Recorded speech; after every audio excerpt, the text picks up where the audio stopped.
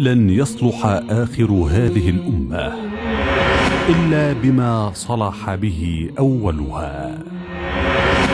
موقع أنا السلفي يقدم لكم هذه المادة.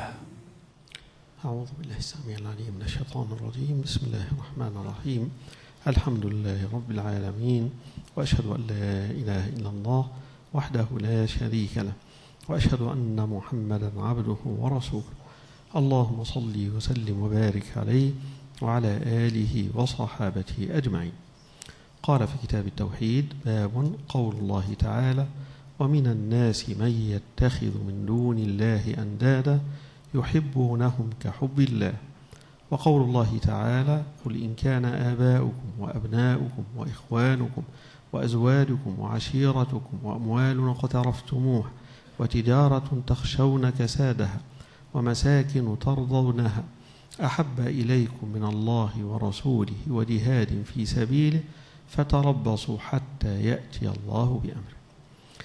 بدأنا في هذا الباب في الحديث السابق وفيه المحبة لله سبحانه تبارك وتعالى وأن المؤمنين يحبون ربهم سبحانه تبارك وتعالى فوق كل محبة وهذه المحبة ليست دعوة أنه يدعي أنا أحب الله وأنت تحب الله والثالث يحب الله. دعوة من غير عمل لها ولكن دعوة يحققها العمل. ولذلك الآية التي يمتحن الله عز وجل به عباده آية المحنة كما يقولون وهي في سورة آل عمران قل إن كنتم تحبون الله فاتبعوني يحببكم الله. هذا الامتحان أن أنت تدعي وكل إنسان يدعي. طيب فين حقيقة ذلك؟ إذا كنت تحب الله اتبع الرسول صلى الله عليه وسلم في أقواله في أعماله في أخلاقه صلوات الله وسلامه عليه فيما أمرك فيه تأتمر وتفعل فيما نهاك عنه تنتهي وتجتنب إذا أنت اتبعت النبي صلى الله عليه وسلم أنت فعلا تحب الله سبحانه تبارك وتعالى. فإذا كان الإنسان يزعم أنه يحب الله ومع ذلك لا يتابع النبي صلى الله عليه وسلم ولا يفعل شيئا مما يأمر الله عز وجل به يبقى هنا هذا يقولها دعوة فقط. أنا أحب الله وهو تارك للعمل الذي أمر به. حتى يحب العبد ربه سبحانه تبارك وتعالى يقول العلماء لابد من أسباب. أسباب تجلب المحبة وهذا أمر عظيم جدا أنك تستشعر حب الله سبحانه تبارك وتعالى. تحب الله يدفعك للعمل يدفعك لأن يكون في قلبك الأمل يدفعك أن تخلص لله سبحانه تبارك وتعالى. حب الله طريقك إلى جنة الله سبحانه تبارك وتعالى. لذلك يقولون عشرة أسباب من الأسباب التي تجلب هذه المحبة. أنك تحب الله فيحبك الله سبحانه تبارك وتعالى. أولها القرآن العظيم. القرآن سلاح المؤمن. كتاب الله رب العالمين. أن يمتلئ قلبه به. يحفظ كتاب الله. أو يحفظ ما استطاع من ذلك. أو يقرأ في كتاب الله سبحانه. ويتدبر كما أمر الله سبحانه. أفلا يتدبرون القرآن؟ ولو كان من عند غير الله لوجدوا فيه اختلافا كثيرا. أفلا يتدبرون القرآن أم على قلوب أقفالها؟ لو أن القلوب ما هيش مغلقة سيتدبرون القرآن. لو أن القلوب أغلقت حط عليها ختم تحط عليها قفل هنا لا يتدبر القرآن ولا يفهم كلام الله سبحانه. فيقولون قراءة القرآن بالتدبر والتفهم لمعانيه وما أريد به. هذه واحدة. الثانية التقرب إلى الله عز وجل بما فرضه ثم بالنوافل. هنا حاجتين. لذلك ربنا سبحانه تبارك وتعالى يخبرنا في حديث النبي صلى الله عليه وسلم ما تقرب إلي عبدي بشيء أحب إلي مما افترضته عليه. هو أحب إلي مما افترضته عليه. الشيء الذي يحبه الله عز وجل منك الفريضة. تصلي الفريضة تصوم الفريضة تحج الفريضة تؤدي زكاة الفريضة.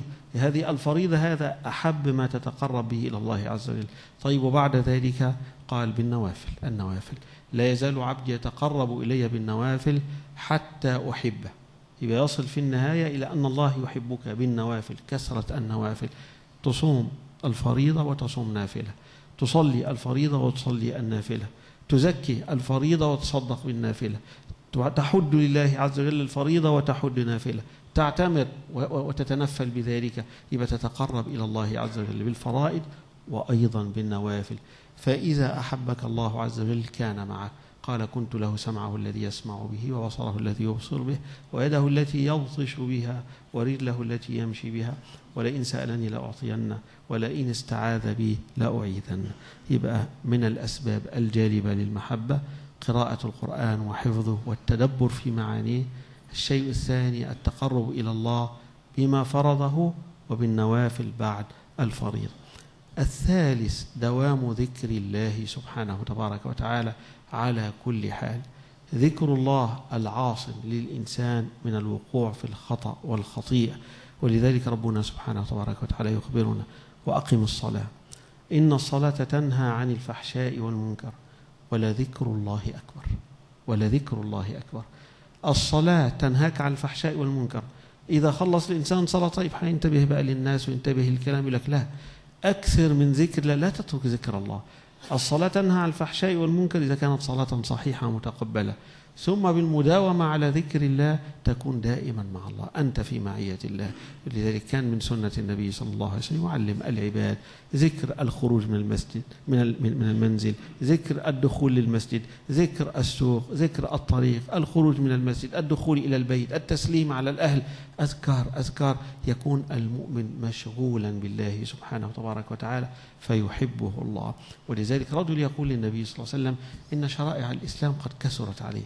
أخبرني بشيء أتشبث به أتمسك به حاجة أتمسك بها الأشياء كثيرة أعمل إيه ولا إيه؟ فدله النبي صلى الله عليه وسلم على شيء هذا الشيء يدل على الجميع. قال لا يزال لسانك رطبا بذكر الله. لا يزال لسانك رطبا بذكر الله. يبقى رطب لسانك بذكر الله. رطب قلبك بذكر الله. إذا كان على لسانك على طول أنت تذكر الله تستريح. هو مش قال لنا كده في القرآن. ألا بذكر الله؟ تطمئن القلوب. تطمئن القلوب. الطمأنينة لقلب الإنسان المؤمن بذكره الله سبحانه. يستشعر أن الله معه إذا ذكر الله ولذلك ربنا يخبرنا بذلك وأنا معه إذا ذكرني. يبقى هنا الله مع عبده إذا ذكره العبد. إن الله مع الذين اتقوا والذين هم محسنون. فيتعاهد العبد ذكر الله باللسان وبالقلب وبالتذكرة وبالأمر بالمعروف وبالنهي عن المنكر. فيكون له نصيب وافر من محبة الله. ولذلك يأتي في حديث النبي صلى الله عليه وسلم أن الله عز وجل يقول وأنا معه إذا ذكرني. فإن ذكرني في نفسه ذكرته في نفسي. طول ما أنت تذكر الله الله يذكرك. سبحانه. وإن ذكرني في ملأ أنت ماشي دعيت الناس لله عز وجل دعوتهم للصلاة دعو أمرتهم بمعروف نهيتهم عنك ذكرتهم بالله الله يذكرك في ملأ خير من هذا الملأ الذي أنت فيه. في ملأ الملائكة فلان يذكرني فيه يأمر في البي فيا يأمر بكذا وينهى عن كذا فلان كذا فيذكرك الله سبحانه ويمدحك ويثني عليك سبحانه تبارك وتعالى. رابع الأشياء التي تجلب المحبة إيثار محابه على محابك. أن تؤثر ما الذي يحبه الله؟ قد أحب أنا الشيء الفلاني. وبعدين لا هذا غلط. إنما لا تفعل هذا الشيء. هذا حرام. يبقى هنا نؤثر محبة الله على محبتي أنا, للشيء. قد يكون الإنسان اعتاد المعاصي أنه يصرف بصره ينظر للناس وينظر للنساء ويعلم أن الله عز وجل يمنع من ذلك. وقل للمؤمنين يغضوا من أبصارهم وقل للمؤمنات يغضضن من أبصارهن. يوم يقول أنا أحب هذا ولكن الله لا يحب ذلك. نؤثر محبة الله على ما أحبه أنا. فيغض بصره. يعوضك الله عز وجل بمحبة في قلبك. يعوضك عن هذا. صرفت بصرك يزيد إيمانك في قلبك. يبقى هنا إيثار ما الذي يحبه الله. إنسان يحب اللهو واللعب ولكن الله يكره ذلك. يبقى المؤمن إذا أخذ نصيبا من ذلك يروح به عن نفسه ما يبقاش اليوم كله لعب ولهو ولكن شيء ساعة وساعة. يبقى هنا يؤثر ما يرضي الله على ما يحبه هو في نفسه. الخامس مطالعة القلب لأسماء الله الحسنى وصفات الله العلى. في حديث النبي صلى الله عليه وسلم يقول إن لله تسعة وتسعين اسما من أحصاها دخل الجنة. الله له تسعة وتسعون اسما من أحصاها قالوا حفظها. وقالوا من علم معانيها مش مجرد حفظ لا علم معانيها واستعملها في الشيء اللائق بها. يقوم يعرف اسم الله الرحيم فيطلب منه الرحمة سبحانه وتبارك وتعالى. يعرف اسم الله الرحمن في الدنيا وفي الآخرة بالمؤمنين فيدعو ربه سبحانه. ويرجو ربه يرجو رحمة الله ويخاف من عذاب الله. يعلم أن الله شديد العقاب يحذر من عقاب الله سبحانه. يحذر من الوقوع في الخطأ لأن الله سيعاقب على الخطأ إلا أن يعفو سبحانه. يوم المؤمن يتذكر أسماء الله يحصيها يذاكرها يفهم معناها يستحضر. في كل حادثة ما يليق بها من أسماء الله عز وجل فيدعو الله عز وجل ويسأل الله سبحانه تبارك وتعالى بها. يبقى مطالعة لأسماء الله بلسانه بقلبه. هنا يجول في ملكوت الله سبحانه بأسمائه الحسنى وصفاته العلى. السادس مما يملأ القلب المحبة مشاهدة إحسان الله سبحانه مشاهدة بر الله التذكر في النعمة. وإن تعدوا نعمة الله لا تحصوها. يوم المؤمن هو قاعد يتذكر أنا بتكلم. مين اللي أعطاني هذا اللسان والشفتين الله. مين اللي أعطى الإنسان العلم أن يذكر به الله الله هذا فضل الله عز وجل. أنا بآكل وأستطعم بهذا الأكل وكم من إنسان بيأكل مش طايق إنه يأكل بيأكل يرجع في ساعتها بيراجع ياخدوه على المستشفى علشان مش عارف يأكل.